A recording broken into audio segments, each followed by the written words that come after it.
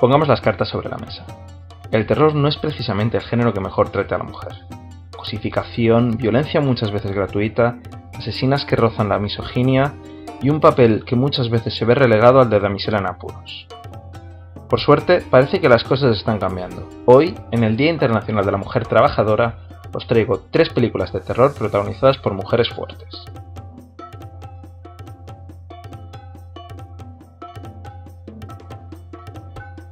Babadook.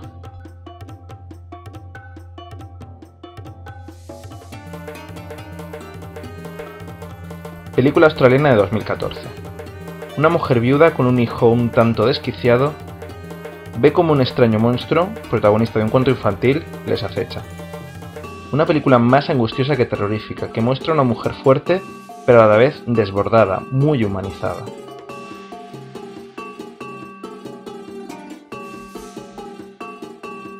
Suspiria.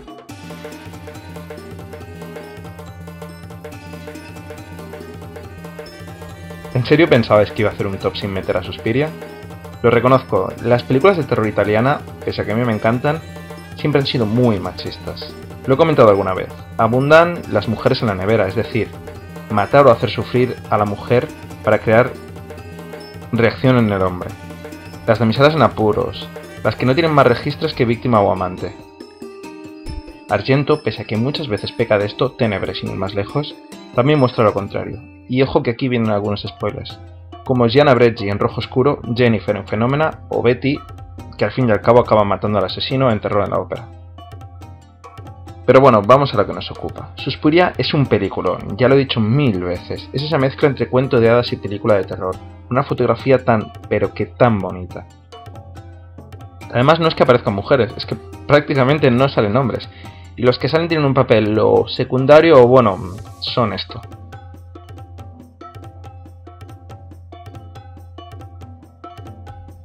La saga Rec.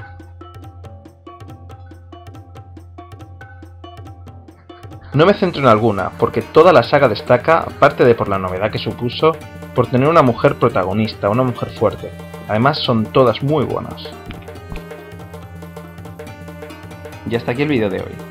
Si te ha gustado, dale al like y compártelo con tus amigos. Suscríbete para ver más tops, recomendaciones y vídeos sobre cine y series.